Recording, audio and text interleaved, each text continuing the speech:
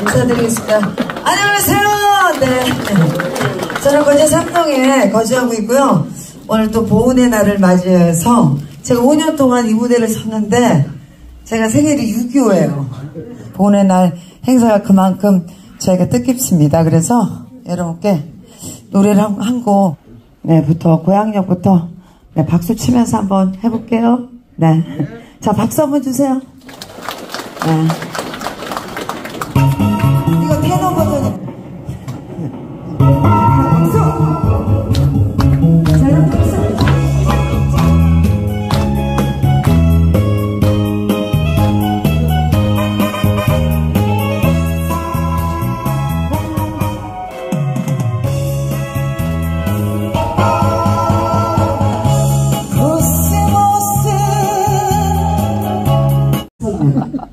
그분 이름이 지금 뭐 텔레비에 나와요.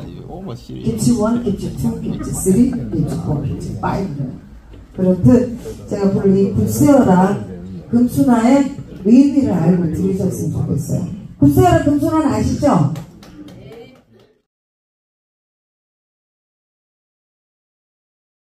안녕하세